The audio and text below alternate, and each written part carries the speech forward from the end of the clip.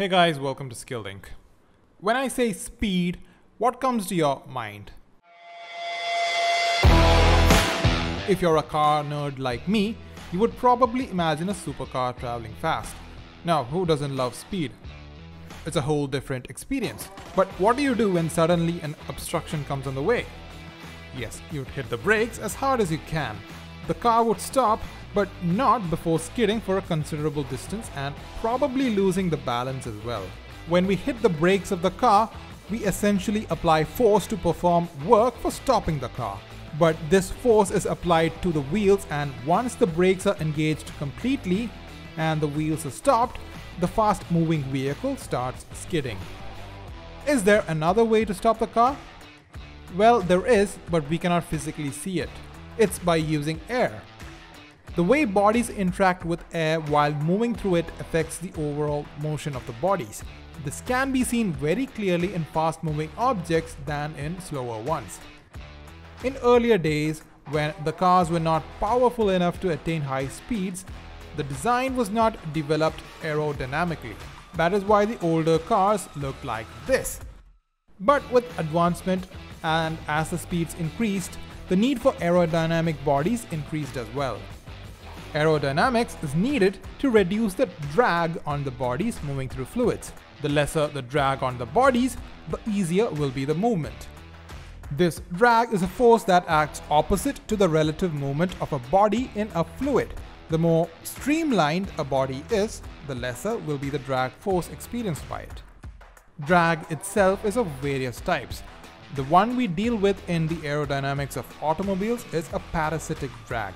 It is called so because as opposed to other two types of drags, the parasitic drag is developed by two factors.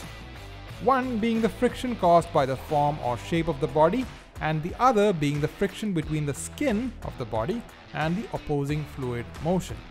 Drag can drastically decrease the speed of a vehicle. Thus, a streamlined body is inherently designed to minimize the drag. The stability of a car is increased by adding spoilers to the car. Spoilers, as the name suggests, spoils or reduces the unwanted airflow over the car. As the air encounters the front part of the car, it moves smoothly over the top and bottom depending on the shape. But as you might have noticed, there is a decrease in slope as the air moves from the top of the car to the back. This sudden decrease can produce turbulent flow behind the car. This causes drag forces to be experienced on the car. The drag force increases as the square of the speed.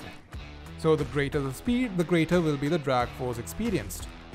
Now, if a spoiler is added at the back, then, as you can see, the airflow will be comparatively smoother as compared to having no spoiler. This reduces the drag effectively. The drag can also affect the front of the vehicle. But instead of installing a spoiler, the front of the car has air dams which essentially directs the flow to the top and bottom of the vehicle. Now there's a different device that increases the drag on the vehicle, often confused with the spoiler.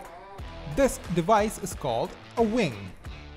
The aircraft can lift off from the ground by creating a lift from its wings.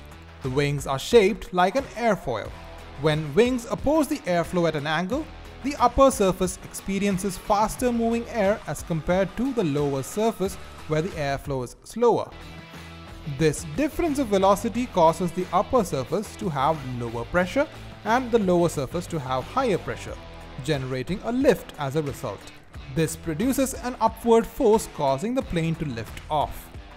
Now if we reverse the airfoil, then it will produce a downward force causing the vehicle to stay grounded. This is essentially a wing installed usually on high-speed cars to increase the downforce. A wing helps the vehicle to have better grip while cornering.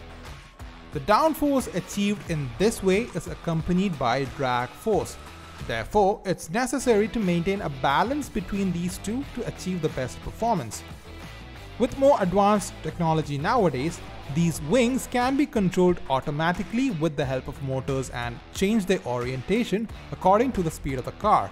Such wings are called active wings. These active wings can also have an added function of air brakes which are usually seen in aircraft. But nowadays, many hypercars have similar active wings with air brake functions to have better control. One such hypercar is the Pininfarina Battista. Manufactured by Automobili Pininfarina, a subsidiary of Mahindra Group.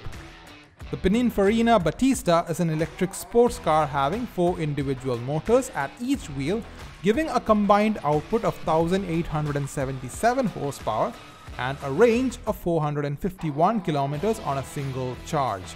It is claimed to accelerate from 0 to 299 km per hour in 12 seconds with a top speed of 349 km per hour.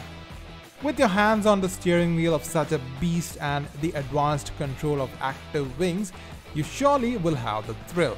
But unfortunately, only 150 of these are to be manufactured, so good luck having your hands on one of these. Although we cannot give you the thrill of having a car worth 20 million euros, we surely can give you the thrill of priceless knowledge. Take a look in the description below and you will find numerous courses on topics ranging from computational fluid dynamics to external aerodynamics of vehicles to satiate your hunger for knowledge. So check it out and until next time, bye.